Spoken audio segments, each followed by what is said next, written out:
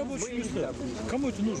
Но вот действительно, кому это нужно? Потому возвращаемся к острому конфликту, который разгорелся в юго-восточной части Подмосковья. Экологическая катастрофа может разразиться в регионе, если мега-свинарник все-таки будет возведен в Серебряно-Прудском районе. В эфире «Молния» я, Алексей Казаников. Яйца ему отрубить.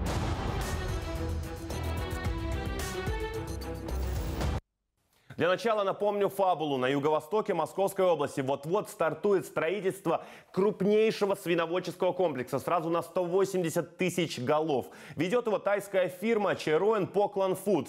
Звучит вроде неплохо. Громадное предприятие, тысячи новых рабочих мест, налоги в областную казну. Опять же, натуральная пища практически от отечественного производителя, пускай под тайской маркой. Но местные жители, а их десятки тысяч, встревожены не на шутку. Строительство грозит гибелью флора флоры и фауны экологически чистого района Серебряные пруды. И вполне обоснованно, но об этом чуть позже. А пока напомню, проект еще только проходит госэкспертизу, то есть, внимание, разрешений на строительство нет. При этом жители Серебряно-Прудского района не раз видели рабочих, технику, фиксировали все это на мобильный телефон, даже вызывали полицию. Работы не прекращались. В эфире «Молния» от 2 ноября на прямой связи со студией был Александр Пушкарев, заместитель главы администрации Серебряно-Прудского района. Несколько раз ему задавался один и тот же вопрос. Почему ведется стройка, если нет разрешений? Та стройка, которую мы уже тогда видели на записях местных жителей. Давайте посмотрим этот фрагмент прямо сейчас.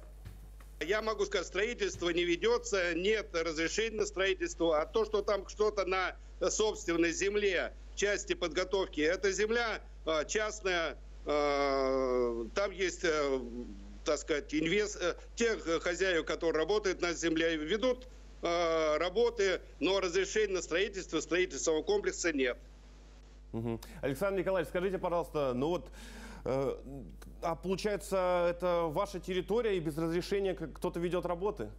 Я... Нет, такого нет. Во-первых, мы разрешение на строительство не даем, это дает правительство Московской области по полномочиям Э, за нашим э, мы не даем э, разрешение на строительство. И не давали, потому что у нас нет полномочий на это. И тем не менее, вот ситуация, что, как вы сказали, кто-то частный ведет строительство. Нет строительства. Могу сказать, что нет строительства не ведется. Я могу сказать, строительство не ведется, нет разрешения на строительство. Ну вот это был официальный комментарий заместителя главы администрации Серебряно-Прудского района. И Сейчас расскажу вам, почему это оказалось неправдой. То есть видеозаписи местных жителей для заместителя главы, конечно же, не доказательство. Но в распоряжение нашей редакции поступил документ. Официальный ответ Министерства природопользования и экологии Московской области. Вот он перед вами. Ну и сразу, собственно, к делу. При осмотре территории установлено, что к земельному участку проложена временная подъездная дорога. В границах участка ведется размещение временного строительства городка из модулей контейнерного типа. Причем указанные работы осуществляются на основании ордера на земляные работы, выданного администрацией городского округа «Серебряные пруды». Вот так вот, бинго. И это еще не все. В границах участка проводились работы по бурению скважины на воду. Это как раз то, что мы и видели на кадрах, снятых обеспокоенными жителями. Ну что ж, вот такая получается история, что скрывает Александр Пушкарев, о чем он не договаривает. Да что там не договаривает, нагло врет в прямом эфире. И ладно мне, но замглавы пытается сделать идиотами жителей Серебряно-Прудского района. Они, кстати, теперь потеряли всякое желание общаться с Пушкаревым. Вопросы про свиноферму задают только главе района Олегу Павлихину. Хотя добиться этой встречи было непросто. Непосредственный начальник Пушкарева признал, строительство идет полным ходом. В деталях расскажет мой коллега Никита Прокшин, который побывал на историческом приеме у главы вместе с местными жителями.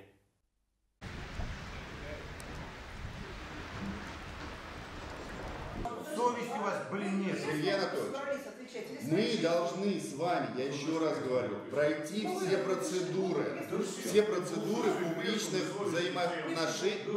Ну послушай, ну, а что? Нет, ну а как интересно? Ну мне сейчас вот бабушка. За что бьетесь не пойму?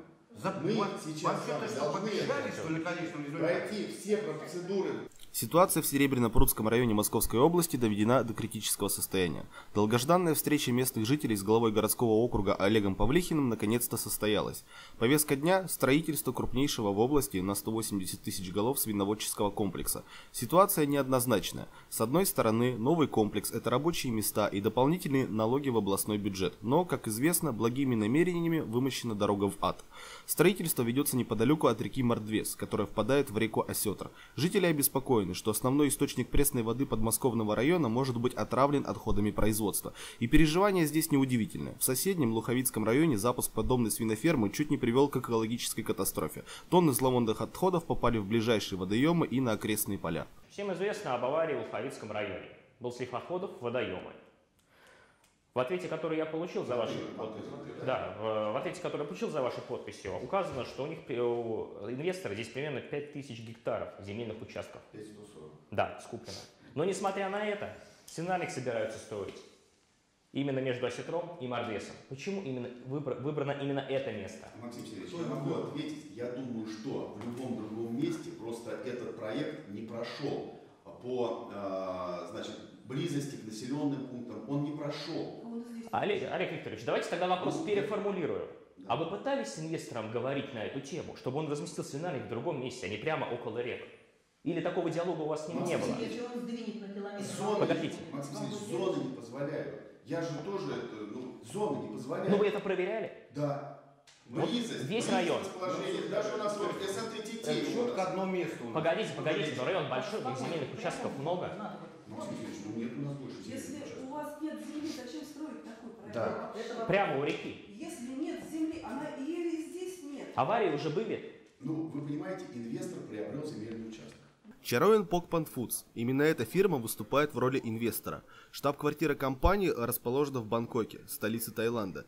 Предыдущий глава района продал иностранным бизнесменам столь важные для местных земли. Теперь сотни гектар принадлежат тайцам, они здесь хозяева. Даже подход к реке на этой территории закрыт для жителей. Все сводится к одному – это частная собственность. Людям лишь остается просить главу как-то решить проблему, сквозь слезы и унижение. Просить о том, на что они имеют законное право. Олег Викторович, а вот как лично вы э, готовы нам помогать? На самом деле, ну почему мы, вот, женщины, должны сражаться, ну действительно сражаться за свою землю? У нас также дети, также бабушки. Ну почему мы должны сражаться? Я лично... Я, действительно, мы посмотрели карты.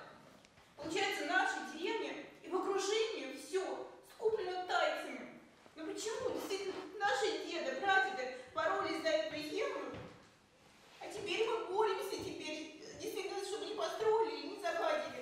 На вопрос местных жителей о статусе строительства свинофермы глава разводит руками. Земля частная, в итоге власть бессильна. Олег Павлихин лишь пообещал запросить информацию о возможности возведения объекта на другом участке. Он намерен взять доказательства у инвесторов, что свиноферма соответствует всем нормам. Проект суперсовременный и государственные экспертизы будут с легкостью пройдены. Знакомые для местных формулировки. Однако факт аварии на свиноферме в Луховицком районе остается фактом. Я, если проект суперсовременный, отвечает всем требованиям, только с условием прошествия всех возможных экспертиз, ну, я буду за это. Олег Викторович, а жители против. Несмотря на заявление главы, что будущая свиноферма для начала должна пройти процесс разрешительных стадий, пройти государственную экспертизу, строительство уже идет. На встрече местных жителей с Олегом Павлихиным к однозначному выводу так и не пришли. Проблема висит домокловым мечом над жителями, а инвесторы идут по своему намеченному плану. Мы находимся в полутора километрах от деревни Титеева, рядом с которой собираются строить свинарник. Мы на этой площадке уже были не один раз. Вот здесь стоит буровая машина. Мы вызывали с утра сюда сотрудников полиции. Приезжал участковый из Узунова, мы его сюда на своей машине привезли. И он в нашем присутствии под видеозапись брал показания вот у этих работников, которые признавались, что они бурят и бурят на воду. Рабочие на местах. Они не стесняются камеры. От чего стесняться? У них заказ. Они работают. От комментариев отказались, послав журналистов к руководству. Бурили. Что бурили? Смотрели, что А что там? На что бурили? Все вопросы к начальству. Кто может разрешить ситуацию, которая накаляется с каждым днем? Администрация, несмотря на ответ Министерства экологии и природопользования Московской области, выдала разрешение на работы и теперь делает вид, что ничего не происходит. От главы Серебряно-Прудского района Олега Павлихина ни одного внятного ответа жители не получили. Его зам вообще находится в своем мире. На связи прямой со студией местная жительница Юлия Левинская.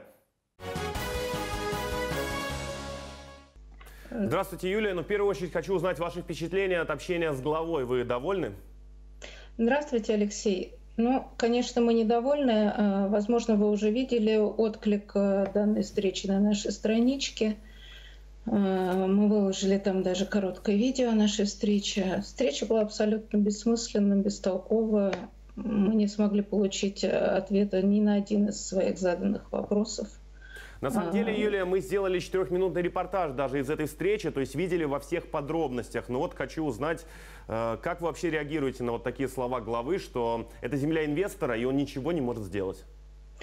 Э, в каком-то смысле мы уже привыкли к этим словам. Мы это слушаем э, в течение нескольких месяцев. Но, естественно, нас это очень сильно возмущает. Все-таки глава района должен быть в курсе происходящего на его земле, независимо от того, кому она принадлежит.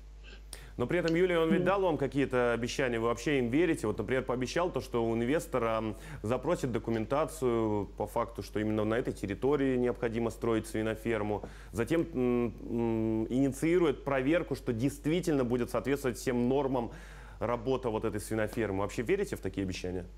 Ну, а, то, что будет соответствовать всем нормам, мы, конечно же, не верим, поскольку данный инвестор э, уже много э, достаточно комплексов в нашей стране построил, и во всех абсолютно комплексах существующих бесконечное количество нарушений, их штрафуют, но штрафы мизерные по сравнению с прибылью, поэтому для инвестора это безразлично абсолютно. Поэтому, конечно, мы не верим ни в какое безопасное свиноводство, тем более в таком количестве это просто невозможно. Юлия, скажите, пожалуйста, а чего все-таки больше всего волнуются жители, из-за чего переживают? То есть из-за вот гибели экологии или чего боитесь? Ну, конечно, мы очень боимся, что это повлияет. Мы не боимся, мы уверены, что это так и будет, поскольку примеры других свинокомплексов об этом говорят, что это очень повлияет на экологию и, как следствие, на всех нас. Здесь просто будет невозможно жить. Будет стоять невыносимый запах, будет отравлена вода в колодцах. Нам просто придется бросить свои дома и бежать куда-то. Какие действия инициативная группа собирается предпринимать в ближайшее время? Ну, мы, наверное, сейчас не будем э, раскрывать все свои планы, но продолжим точно так же стучаться в различные инстанции на всех уровнях. Мы мало ходим и на региональный, и на федеральный уровень э, с разными чиновниками встречаемся, разговариваем, приносим им э, бумаги с доказательством того, что происходит в других местах. Будем пытаться идти законным путем. Нам больше ничего не остается. Нарушать закон мы не можем. Угу. Понятно. Спасибо большое, Юлия. Я очень надеюсь, то, что наша передача, в свою очередь, тоже сможет вам помочь. На прямой связи со студией была жительница Серебряно-Прудского района Юлия Левинская. Ну, в общем, про угрозы экологии и здоровью местных жителей власти предпочитают замалчивать. А этот вопрос, решение которого, ну, просто не терпит отлагательств. Давайте посмотрим на карту. Итак, вот оно, будущее место строительства. Это Серебряно-Прудский район. Вот здесь он огромный, на самом деле, 180 километров от Москвы, но здесь, в Серебряно-Прудском районе, находится 82 населенных пункта. Это больше 25 тысяч жителей, которые как раз теперь и бьют тревогу. Ведь стройка запланирована на речке Мордвес, которая впадает в реку Осетр. Вот она. И они видны, эти речки на этой карте. Это основные, так скажем, водные артерии подмосковного района, которые, как считают местные жители, могут в самом скором времени быть отравлены отходами. Но и это еще не все. Взгляните вот на эту карту. Она попала в нашу редакцию от тех самых рабочих, что в репортаже отсылали съемочную группу с вопросами к администрации. Вот этот прямоугольник, вот этот квадратик на схеме, так называемые лагуны. Это места для отстойника жидких фракций. Иными словами, туалета свиней, которые в будущем поселятся в Серебряно-Прудском районе. В этих резервуарах будет скапливаться навоз. По нормам он должен отстаиваться год и уже потом идти на удобрение. Так вот, обратите внимание, находятся эти лагуны аккурат в устье рек Мордвес и Осетр. Вот здесь. То есть это чуть что. Затяжные дожди, половодье, прорыв трубы и все не самые полезные фракции окажут, окажутся, сами понимаете, где. И это еще не все. Обратите внимание вот на эту линию. Так схематично изображена труба из так называемого маточника, которая ведет как раз в лагуны. По ней все фракции будут поступать в резервуары. А идет она, обратите внимание, ровно над речкой Мордвес. Что говорит само за себя. Давайте обсудим эту ситуацию с Калманом Цейтиным, экологом, заведующим отделом комиссии по чрезвычайным аварийным ситуациям администрации Московской области. Калман Фаевич, здравствуйте. Ну вот главное хочу спросить, из вашего опыта, вот свиноводческий комплекс сразу на 180 тысяч голов и ближе двух километров э, к жилым домам. Это в принципе опасно для экологии, для людей? Вы знаете, свиноводческий комплекс... Добрый день. А свиноводческий комплекс, который запланирован строительством в соответствии с реализацией инвестиционного проекта, подписанное постановлением правительства Московской области в 2011 году.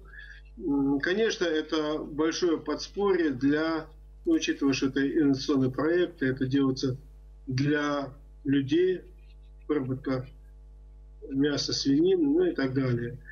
Вот. Но учитывая опыт строительства сеноводческих комплексов э, в соседнем Муховицком в районе тайской компании, э, можно сделать вывод о том, что не до конца проработан проект, и на этом комплексе уже произошло две аварии. Одна из них крупнейшая в 2016 году, которая поставила под сомнение, но это авария, по сути дела, катастрофа для жителей этого населенного пункта. А что случилось? В чем катастрофа? А там э, произошла катастрофа, заключается в том, что э, насос, который качает навоз в соответствующий сосуд, вышел из строя. И навозная жижа пошла вниз и затопила поля, там несколько гектаров, и э, пруд, который там находится. В этом пруду купались люди, ловили рыбу. Сейчас это непригодное, пришли в непригодное состояние, зловонное состояние и пруда. Ну, вот это как раз на самом деле то, что я демонстрировал на карте до этого, чего и боятся жители Серебряно-Прудского района. Калман Фаевич, возвращаемся к вам. Расскажите, пожалуйста, но ну вот жители больше всего беспокоят, что именно отходы производства попадут в две речки Мордвес и Осетр. Они вот главные артерии района, по сути. Чем это может быть чревато для экологии, это, для жизни это людей? может грозить экологической катастрофой. Река Сестра, она впадает в Аку, по-моему, вот, это большая река. И, ну, вообще, упадание а, навоза жижи, вот этой, которая содержит вредные вещества, особенно аммиак, грозит гибелью для всего живого, особенно в воде. Поэтому необходимо при строительстве пользоваться нормативно-правовой базой, особенно значит, учитывать значит, вот методические рекомендации, которые используется при, проекти... при проектировании свиноводческих ферм и комплексов. Калман Фаевич, на ваш взгляд, все-таки вот опасения людей, они обоснованы? Они обоснованы, потому что они видят, что произошло в соседнем районе, в Луховицком. И поэтому, значит, действительно опасения есть. поэтому должен быть, ну, есть а, определенное правило строительное – где запрещается строить так, такого вида комплексы. Я просто несколько назову. Это их не, нельзя строить на территориях бывших скотомогильников, кладбищ, очистных сооружений, навозохранилищ, зон утилизации промышленных отходов.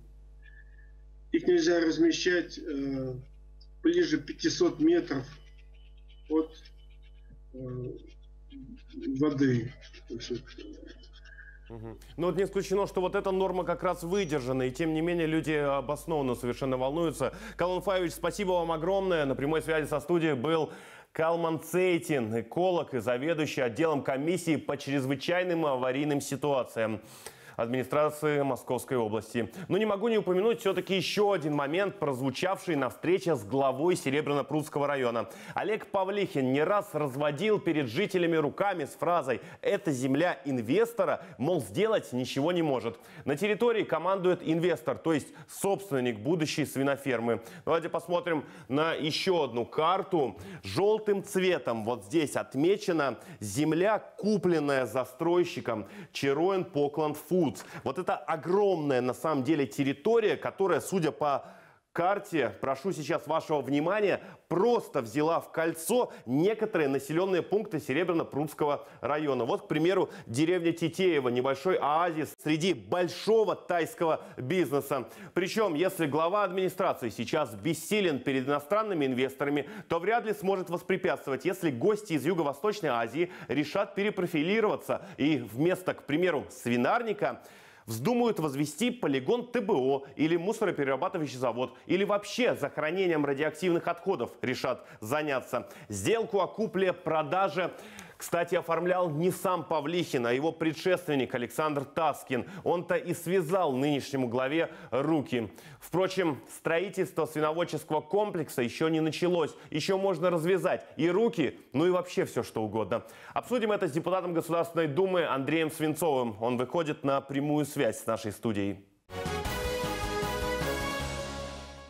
Андрей Николаевич, здравствуйте. Ну, такая ситуация складывается. Люди боятся строительства огромного свинарника, но при этом глава, глава администрации просто разводит руками. Говорит, что территория уже куплена инвесторами, и теперь он просто ничего не может сделать. А инвесторы могут делать на этой территории, что хотят. Но вот как в этой ситуации быть? И можно ли как-то задним числом проверить сделку купли-продажи? Э, ну, вы знаете, действительно, ситуация в Московской области э, сейчас сложилась таким образом, что местные власти именно – главы сельских поселений, городских округов, они полностью лишены полномочий. Все разрешения на строительство выдаются у губернаторов, правительства Московской области.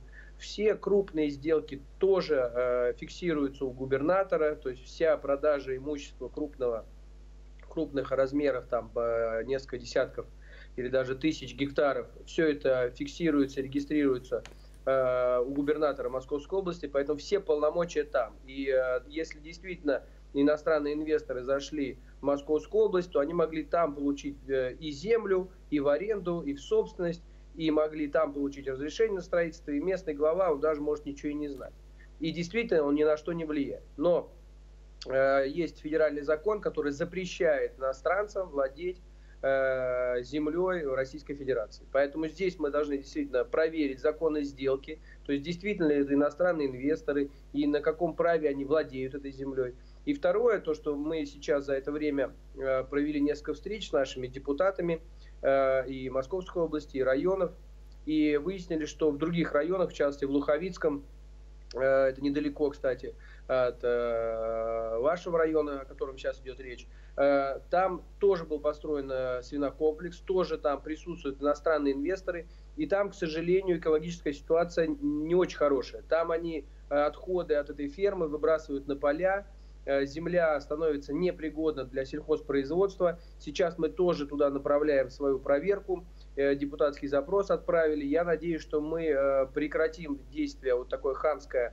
этих инвесторов. Я не знаю, одни и те же это инвесторы или какие-то другие, но тоже речь идет об азиатских странах. Андрей и, Николаевич, ну действительно, наверное, надо проверять, потому что как раз в Серебряно-Прудском районе там действует та же компания, вы правы, что и в Луховицком, это тайская компания, но не только. Часть вот э, земли, вот этой в собственности находится э, одной компании, часть в другой и часть даже у третьей. Все они иностранные, то есть вот таким образом они, видимо, пытаются обойти вот этот федеральный закон. Ну, что мы можем сделать? Запрос куда можно отправить? Потому что, насколько я знаю, вы уже Воробьеву отправляли запрос еще в предыдущем нашем выпуске, и пока ответа ответа нет.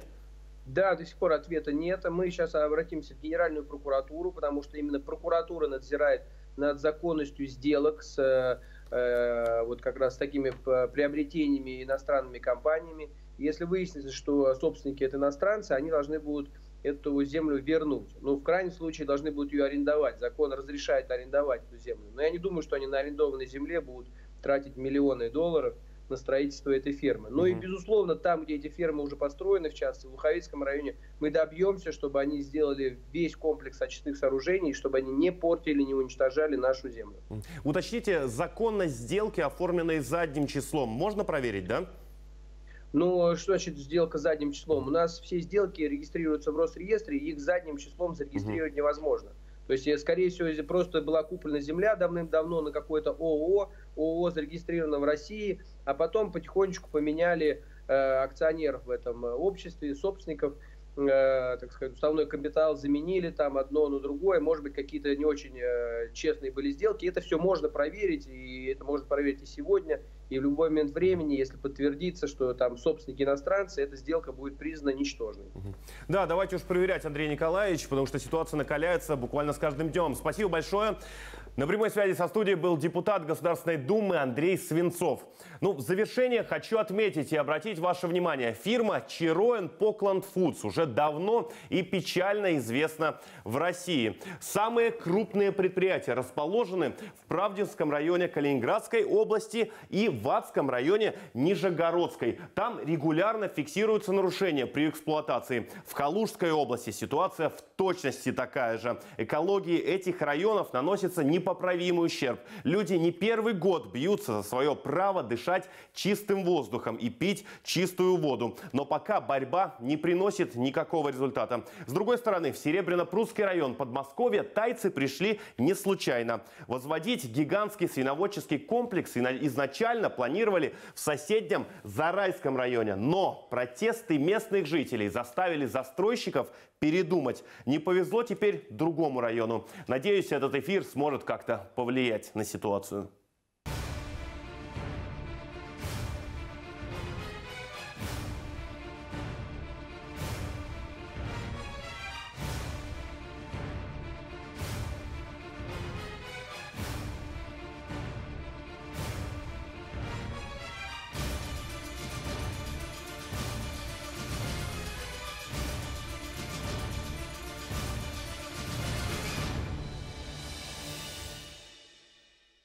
Резонансные события, конфликты, судьбы людей. Напомню, мы не просто создаем информационную повестку, мы ее меняем. Это была «Молния». Я Алексей Казаников. До встречи.